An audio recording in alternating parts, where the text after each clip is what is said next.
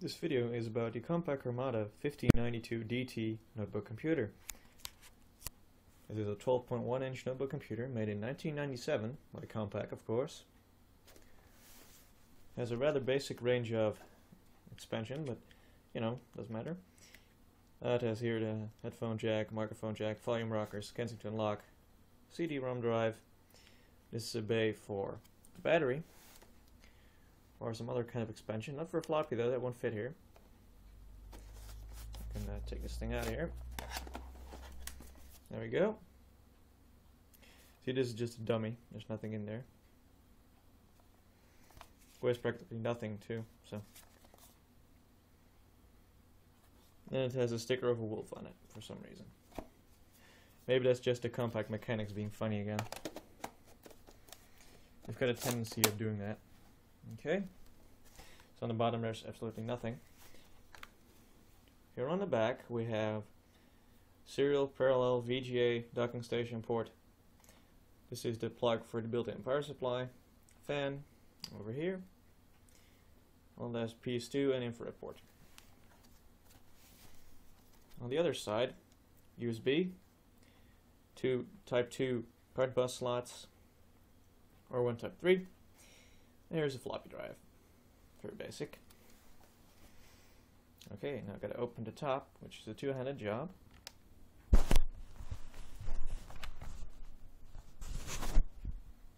we go. That's what it looks like.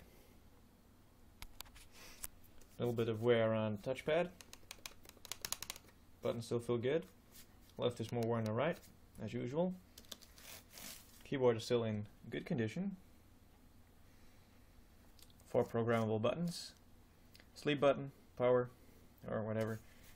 Seems to be interchangeable. It turns on anyway as soon as I plug in the cable, which I will do right now. Let's see if you can get that thing in there.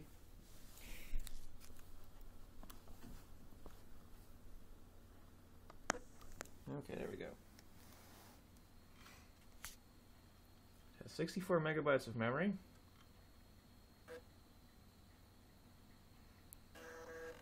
Three point two gigabyte hard drive made by IBM.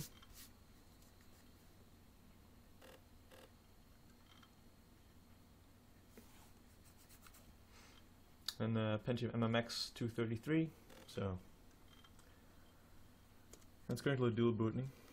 The Windows XP partition is just for uh, some transferring related uh, purposes. Because I needed to hook up a flash drive to this thing to get uh, files over and then transfer the USB flash drive drivers for 98 to the Toshiba and stuff. I'll probably make a video on infrared transfers.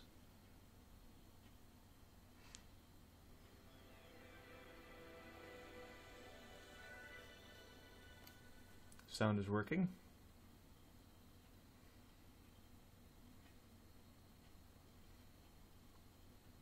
The screen isn't the brightest, I agree.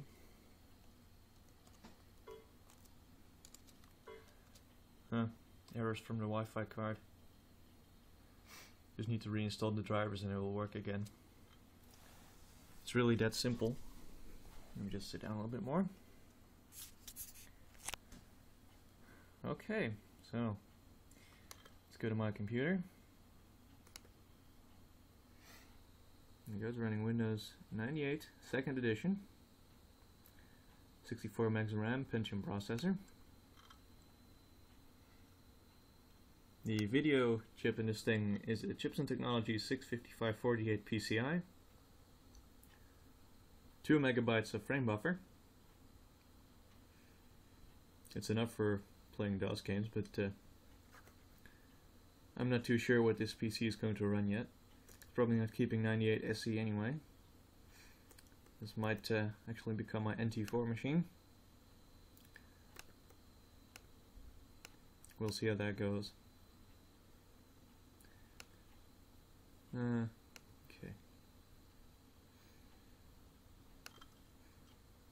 So yeah, it's, it's running beautifully under 98. It's it's quick, it's responsive. His disk uh, is not quite in the best shape anymore, but you know it works.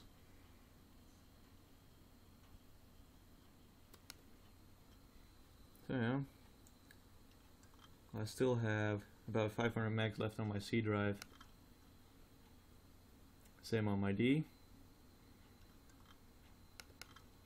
So, not much to show you here, just some DOS games I tested. Mostly just, you know, battling between the two best of these uh, four laptops that I got to figure out which is the best for DOS games. It's mostly concerning the way uh, MIDI is played back, so this one has an excellent MIDI track. See if it will actually run. Okay, it did not. Let's run setup to see if this can get this to work. Let's see. Uh, Gravis Ultra Sound Anew. It does not have that. Sound Blaster. Let's just grab the default. 16-bit, yes. Oh, whoops. Music, very important. Yeah. Okay, let's run a test.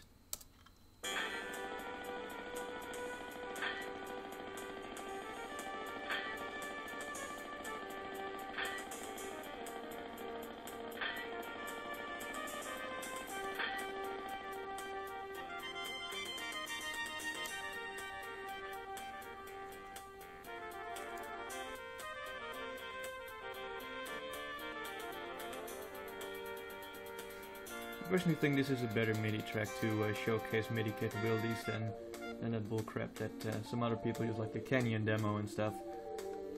Just use a good old DOS game for the real MIDI. As you can hear, some instruments are simply missing in this version. And I just uh, crashed the sound. Okay, let's turn that off. Okay, so uh, that was pretty much a showcase of this uh, Compaq Armada 1592 DT from 1997 running. I'm pretty happy with this laptop, really.